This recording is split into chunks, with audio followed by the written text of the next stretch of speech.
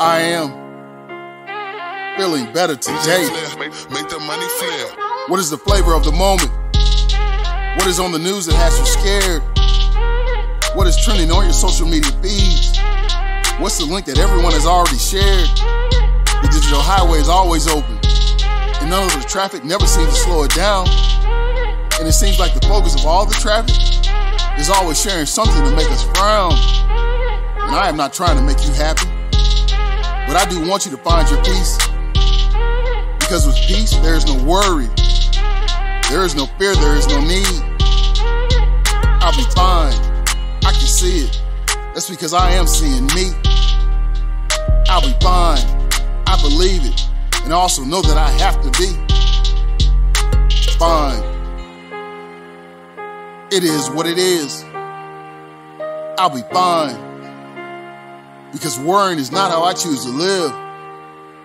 And I really think that some of you are addicted, searching for that thing that could go wrong. You feel uneasy if you're not worrying. That's why your good times, they don't last that long. The roof over your head, it is not leaking. You're obviously eating because you are not frail. Yet you are looking for something to make you worry. When in reality, things are going pretty well. This is our twisted need for negativity. We don't watch the news to see what's good. All the negative things that make the money. Are we really handling this thing like we should? I know what is good for me and I do it. That means that I can't sit and watch the news.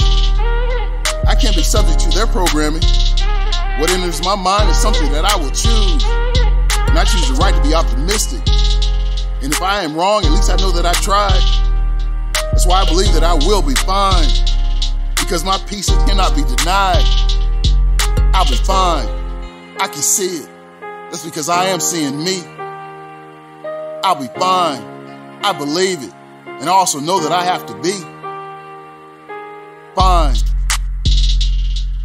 It is what it is. I'll be fine. Because worrying is not how I choose to live. The good life that I live, I want it. In order to get it, I have to be fine. And being fine is no great mystery. No, it is an attitude within my mind. This world that we live in, it is mental. And mental health is not a description of the insane. Mental health should be an everyday exercise to use the best parts of all our brains. I'll be fine. I'll be fine.